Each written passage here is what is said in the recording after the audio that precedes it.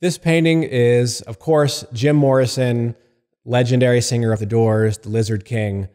Um, this is the most well known and most iconic photo of Jim Morrison that exists. Uh, it was used on the cover of one of their greatest hits albums.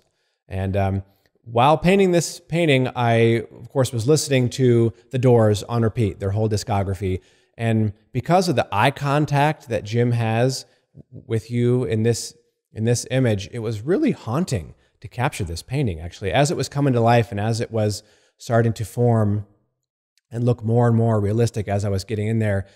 I was I felt I had this weird connection with him, and it was really uh, uh, an awesome experience to be bringing him to life through this painting while listening to his music. Um, genius musician, and I hope I did him justice in this oil painting.